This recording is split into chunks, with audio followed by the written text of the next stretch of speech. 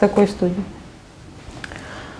Конечно, очень печально то, что подобная ситуация, когда люди остаются без дома своего, доводят их в буквальном смысле до самоубийства, что мы видели в предыдущем сюжете.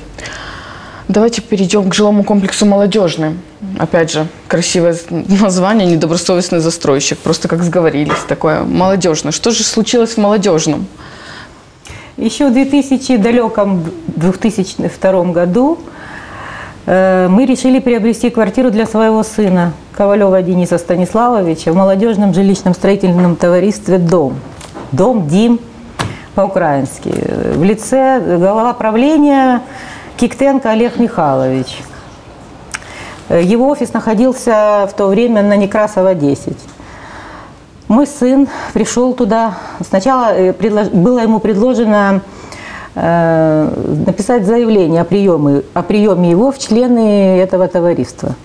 Так как э, это молодежное строительство, и оно строился дом по программе президента о жилищном строительстве. Так нам было сказано. Это что это есть закон Украины о строительстве жилья для молодежи. По этому э, поводу есть решение сессии исполкома городского совета. Э, люди только до 18 лет могли воспользоваться этим правом. Вернее, с 18 до 27 лет на тот момент. Потом впоследствии этот срок был возрастной ценз продлен до 32 лет. Вот этот договор, утвержденный УКСом Горсовета, печать УКСа. У меня есть оригинал этого договора. Э, мы проплатили 70% стоимости квартиры. Это сколько? Э, значит, вся стоимость квартиры была на тот момент около 12 тысяч долларов, но это были немалые деньги на тот момент. Это была, в общем-то, почти рыночная стоимость. 220 долларов за квадратный метр на тот момент. Который это год? 2002 год. 2002. Да, 2002 год. Ну, даже такой суммы у нас на, не было на руках. Естественно, мы тоже были вынуждены продать свое предыдущее жилье. Вот в этом договоре указано это жилье. Э, адрес проспект маршала Жукова, квартира 14Г, э, квартира 47, э, дом 14, корпус Г. Паспортные данные моего сына здесь указаны, а также замовник, забудовник Некрасова 10 в лице Киктенко Олега Михайловича. Когда мы пришли на, на место этого строительства, там был только котлован. Только котлован. Мы вложили деньги фактически рискованно. Это был дом строился, э, строился, строился. Когда он был практически уже до девятого этажа построен, э, Киктенко заменил замки в этой квартире. И все. И сказал, гуляйте. Потом стал выражать физической расправой точно так же. Мне и моей семье. Сказал, переломаю всем кости, взорву, уничтожу, я крутой, я такой секой. Я с соответствующим заявлением сразу же обратилась в милицию, в органы, в органы СБУ. Вот, но, как говорится, никаких подвижек после этого не было. Единственное, что мне помогла милиция, это то, они мне дали слово, что он вам больше угрожать не будет. Что, собственно говоря, и он мне больше не угрожает. Зато он угрожает всем остальным членам и жителям этого товариства.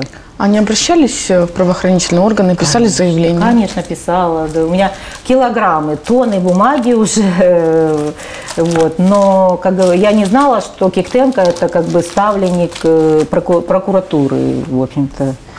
У нас рассадник коррупции в городе – это городская прокуратура. Вот. И фактически она его крышует и по сегодняшний день. Именно Киктенко крышует органы прокуратуры. Э, все материалы находятся в, наш, в городской прокуратуре. Им присвоен номер такой некий 51 ПР-05 проверка. Нейков, такой первый зам прокурора, прокурора города, он даже не стесняется отвечать, что книга учета о злочинах и преступлениях э, э, до принятия нового уголовно-процессуального кодекса КУП называлась, книга учета преступлений а, и правонарушений, э, находится у них в прокуратуре, а не в милиции. Он даже пишет об этом. Мы вносим э, и там же закапываем все это дело. В этих материалах находится э, на весь этот дом, а адрес я не сказала, значит наш адрес 59Д, Вилли, улица Академика Вильямса, 59Д, квартира 129. Это уже, это уже адрес, присвоенный после сдачи дома в эксплуатацию. Э, строительные номера были другие. Строительный номер был 40, квартира 50, по-моему, в данном случае. Но на тот момент, как выяснилось, в этом э, жилмассиве Д Южный все, все дома были с номером строительным 40 почему-то. Все, все, 7, все, которые бы не строили, все имели 40 номер. Вот. Поэтому это такой некий локотрон, пирамида такая, скажем. Приходит следующий инвестор, он деньги забирает, выгоняет, берет нового и опять выгоняет. Вот. Но самое интересное, да, что именно, я, как я вижу, я обратилась в органы прокуратуры, такого хамского отношения, как в прокуратуре, не было нигде. Вот милиция мне помогла реально, что он мне перестал угрожать физической расправой. А прокуроры продолжают по сегодняшний день угрожать мне. Скажите, пожалуйста, а если апеллировать не к правоохранительным органам, какой-то... Понятно, что у недобросовестного застройщика явно совести нет. Но если вот э, рассказать о вашей ситуации, эмоциональном плане, за 12 лет, что произошло в вашей жизни? Ну, просто чтобы показать всю суть и всю драму вообще этой ситуации. Когда мы видим проблему недостроя, мы всегда видим коробку, остов, и что эта беда касается кого-то другого. Вот если вот на вашем примере, э, эффектная Нет, вот э, женщина, дело, 12 дело лет. в том, что во всех предыдущих случаях, как бы, то недостроенный дом, то в бегах э, застройщик, то не хватает денег даже при наличии решения суда, то еще чего-то. В данной ситуации стоит дом, введенный в эксплуатацию, и на сегодня мы можем подъехать, снять этот дом подойти к моей квартире. В этой квартире установлена дверь, на которой у меня есть все документы на эту дверь есть. Товарный чек. Именно эта дверь там установлена. Вот, бронированная дверь от фирмы «Витязь». Она и сейчас там вот стоит, эта дверь. Никто, дом сдан. И имеется подложное право собственности на квартиру, на подставное лицо. На имя некой Марковой Виктории Григорьевны. То есть несколько перепродаж и из было, да? Я не знаю, правоохранительные органы это, это, этим не хотят заниматься. Вот я 10 лет я этим занимаюсь, вот э, право собственности на квартиру номер 129, выданная полностью по подложным документам, по подложный э, инвестиционный договор задним числом, подложный акт приема передачи квартиры и подложный техпаспорт. Техпаспорт вообще с исправлениями в БТИ. В БТИ вот вся, вся информация по 129 квартире отсутствует до сегодняшнего дня.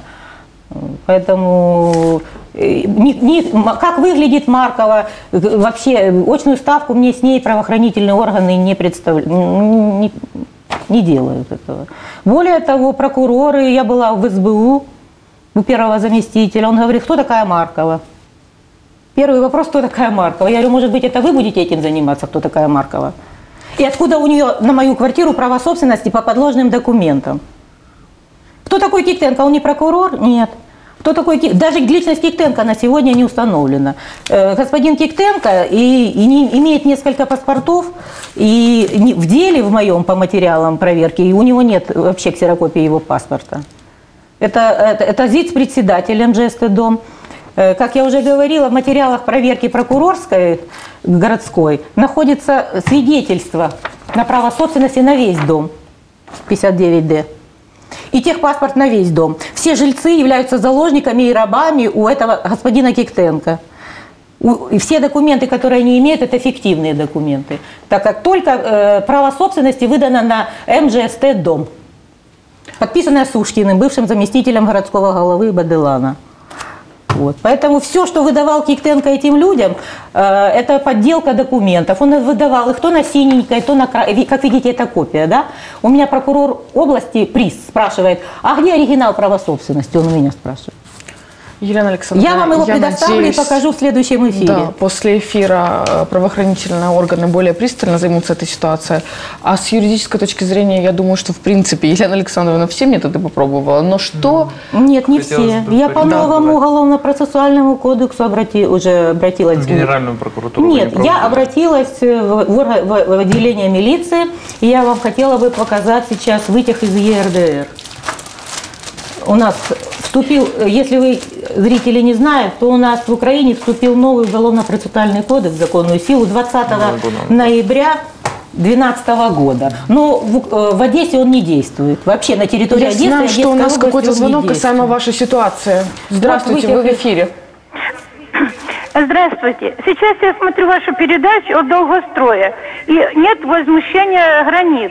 Олег Михайлович Кихтенко, этот депутат, действующий депутат сейчас, настоящее время. Мы за него голосовали. Это поселок Котовского. Мне стыдно, что за этого идиота, собственно, я голосовала. Он так разрывался, такой он хороший, такой хорош, так стелился, другой не скажет. Единственный был задан вопрос, а чего вы живете там, а в нашем районе?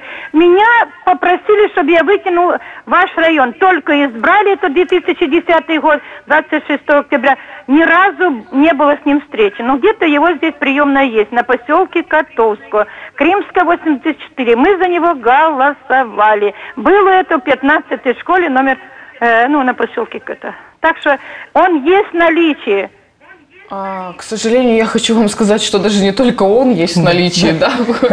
Есть э, любой недобросовестный застройщик, и на самом деле у нас уже нервный смех, потому что э, действительно э, тех людей, которые по-другому как не скажешь, что мошенническим образом поступили по отношению к тысячам людей, только в Одесской области 155 незавершенных объектов строительства, из них 77 заморожены, в принципе, довольно-таки можно встретить в центре города, в красивой белой рубашке, в ресторанах, со всякими изысками, красивыми дамами рядом.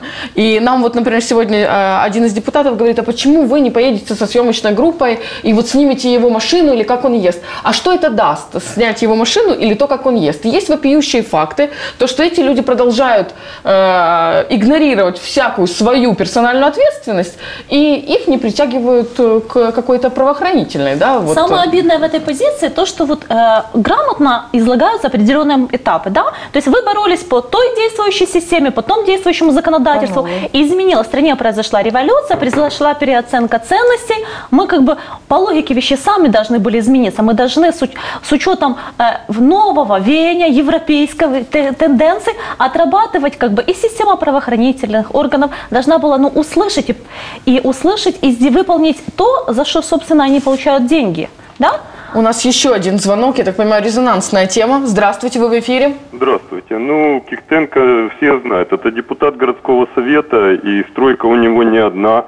И очень хорошо отводят ему землю в горсовете под новые стройки. Поэтому поинтересуйтесь, и будете удивлены, какие у нас добрые депутаты в городском совете сидят и честные. Оставьте ваши координаты нашему принимающему ваши звонки, и мы обязательно приедем к вам, снимем сюжет, потому что седьмой канал самый общественный канал, вы в этом убедились, и эта проблема нам очень близка, и мы ее рассматриваем со всех ракурсов, проводим марафоны. Следующий хочу обрадовать наших э, зрителей, что следующий марафон будет посвящен банкам и их аферам. Мы вас не оставим.